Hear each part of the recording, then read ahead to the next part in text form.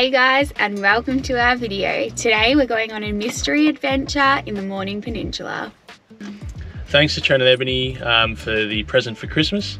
Um, we could, could have chosen between doing an adventure in Melbourne, Daylesford, Basically all around Victoria. somewhere else. Yeah. Um, so we chose Mornington Peninsula.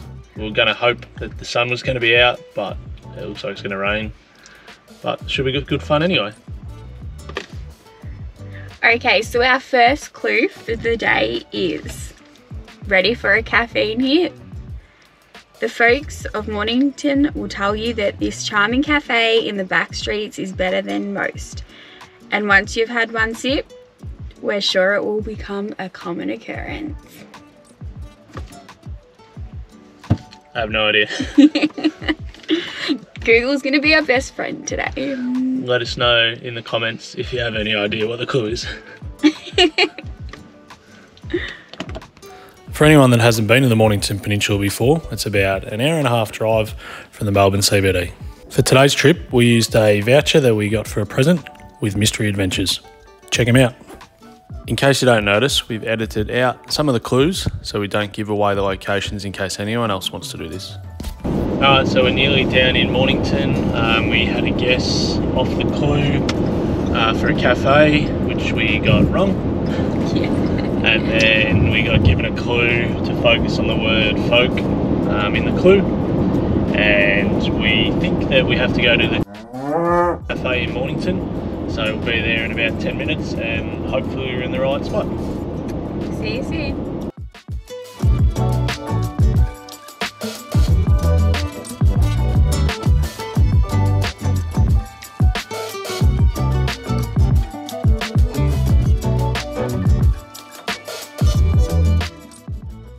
Some beautiful weather.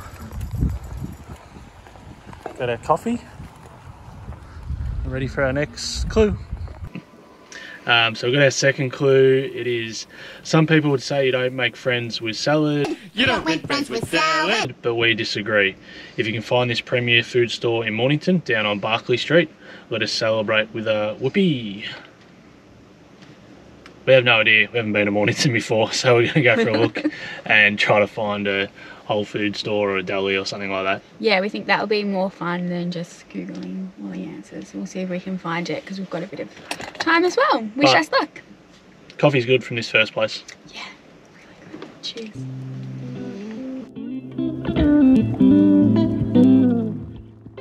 Okay, so we're in the main street of Mornington, Barkly Street. Um, we're on to Koi 2. Um, we were wrong again with our first guess.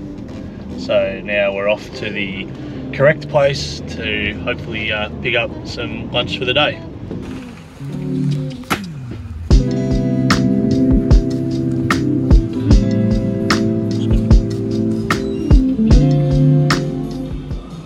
Okay, we just went to a very cute little store where we got some salads. We got a pasta salad and a cauliflower salad, which looks very nice. Yep, now it's time for our next clue, clue number three. Right, let's go. Do you want to read this one? Sure. Ooh, cheese. They say you don't judge a book by its cover, and that's definitely the case for this industrial shed. Filled with an array of handmade, delicious artisan French style soft cheeses, we'll think you'll find this next stop just great. let's go.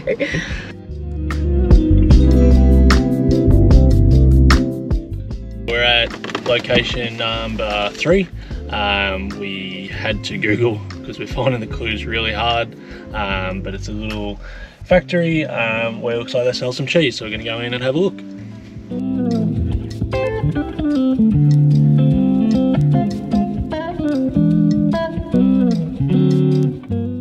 Righty, Braden, we're up to clue number four. So we have got the insider scoop on where Stuart Little likes to drink. I think we saw a sign um, cider just up the road. Ah, insider. Uh, I get it. Insider scoop.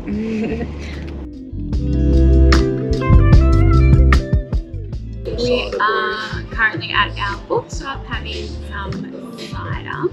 We are currently up to, what clue are we up to? Clue number five. So I'll just read that out. Clue five. Hey adventurers, your next stop for today is to visit an old market garden where you grab some delicious goodies from your basket. Unjumble the below letters to uncover the destination. And the letters are L O R T L E O. And the second word is M F R A. So the second word's farm. and I don't know the first one, so we'll have to figure that one out. Uh, but cider was good. You can figure out where we are. Make sure you come. There we go. Black black currant cider's two standard drinks. So Jess is having that one because I'm driving. Cheers.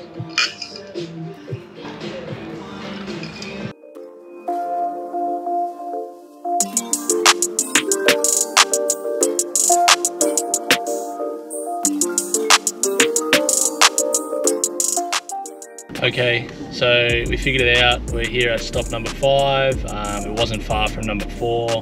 Um, little mixture of letters. It was a, a T, an L, an L, an E, an O, a Q, a Z, and then the second word was farm. Um, so hopefully you might have figured it out too. Um, the black currant cider, amazing, next level. Two standard drinks though, so make sure you're not the Dezo driver. Um, we are at the next clue, but it, we thought it was a farm, but it actually doesn't look like a farm. So, um, Yes, it does. It, no, it does not. We'll, st- we'll send. We'll well, show you we'll show you around and leave in the comments below. Do you reckon it looks like a farm?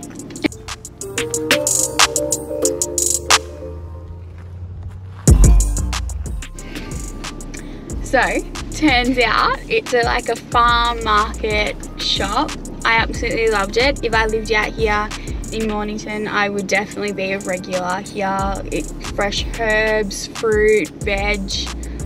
Definitely my type of place. I can't afford for us to live in Mornington. Braden, are you feeling like something sweet? I'm sweet enough as it is. we, just, we just finished off at number five at the uh, farm. Um, we got a little punnet of strawberries and a little herb bread Focaccia. pull yeah. apart sort of thing. Um, Mediterranean yeah, focaccia. there are three options we could choose from. A couple of them had garlic on it um, and don't want bad breath. Good on you, mate. Alright, so what's the next clue? Um, if you want to find where the best chocolate are hidden, make your way to one of the most picturesque estates on the peninsula, otherwise known as Red Mountain in French. Mm, Mm, that gives away the answer, doesn't it? Parlez-vous français?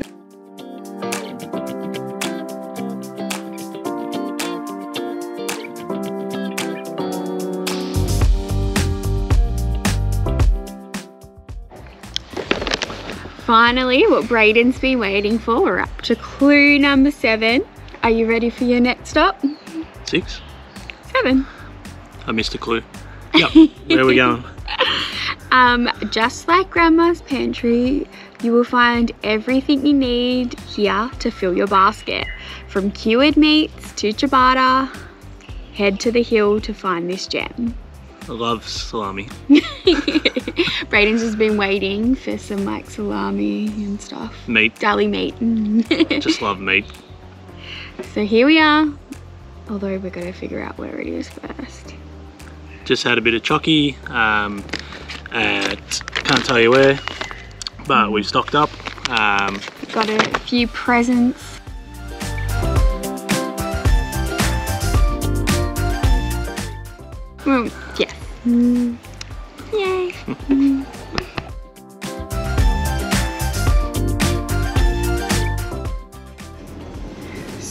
Just picked up some salami and dip, or actually let's start it. So we just picked up some like deli meats and some, I think it was beetroot dip. yep.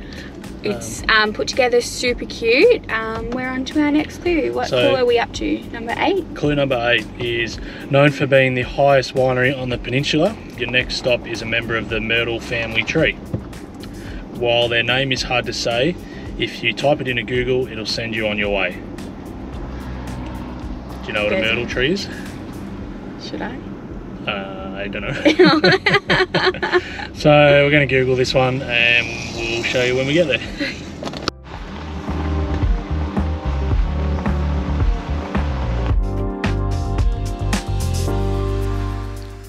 At the winery, we had a nice drop of Pinot, but we forgot to say what clue number nine was because Jess got a little bit distracted.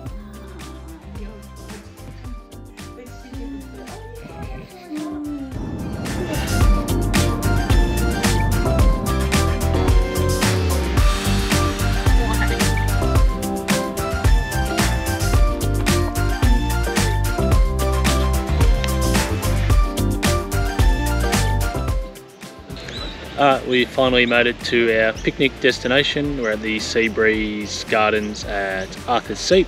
Um, it's going to get stuck in and then we're going to go for a little walk on the Bay View.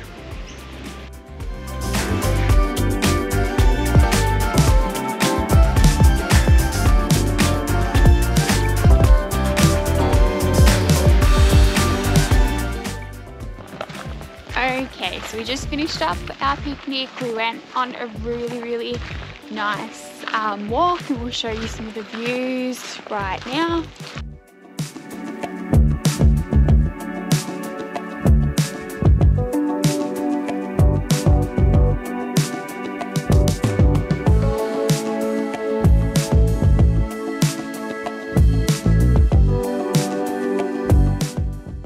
Jess is going to read us out clue number 10. As soon as you arrive, you'll be amazed at the sheer beauty of this lavender labyrinth set amongst two, sorry, 25 acres of the world's acclaiming gardens. It's a lavender maze.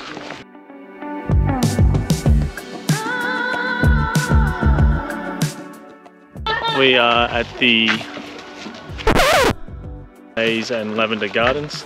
Um, they've got four mazes here. We're currently lost in the first one. Oh,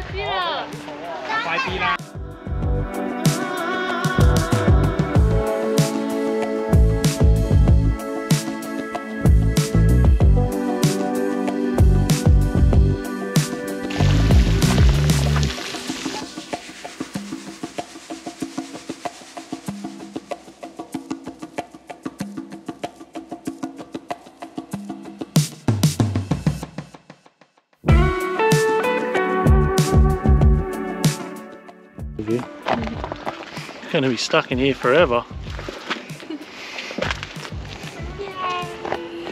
It. So it's a race. Um, the aim is to find the centre apparently and then make your way out again. So Jess has gone one way and I've gone the other way.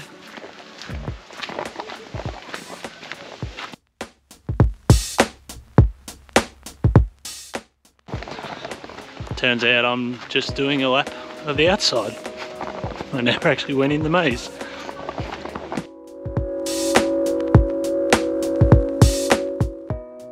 Alright, that's it. We finished our day here on our mystery adventure in Mornington Peninsula. Hope you liked the video. Um, if you want to do something like this, we'll leave a description in the comment box below and we'll see you next time. Cheers.